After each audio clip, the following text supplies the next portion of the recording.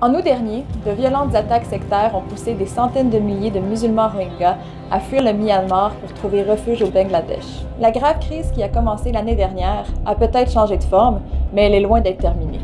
Environ 9000 Rohingyas ont été tués au Myanmar dans le premier mois après le début des attaques. Des familles ont raconté à nos équipes que des hommes, des femmes et des enfants avaient été massacrés, dans bien des cas sous les yeux de leur propre famille.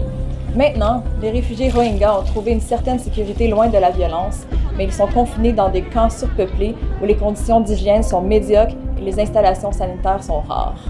Les gens sont coincés dans des zones dangereusement surpeuplées où des épidémies seraient dévastatrices. Nous avons déjà traité des milliers de cas de diphtérie, une maladie mortelle qui, depuis des années, était considérée comme éradiquée dans la plupart des régions du monde.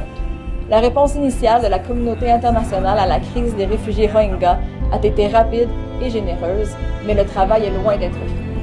À l'approche de la saison des pluies, les abris précaires sont menacés par les cyclones, les tempêtes tropicales et les coulées de boue. Ils risquent donc de s'effondrer, piégeant ainsi les gens à l'intérieur.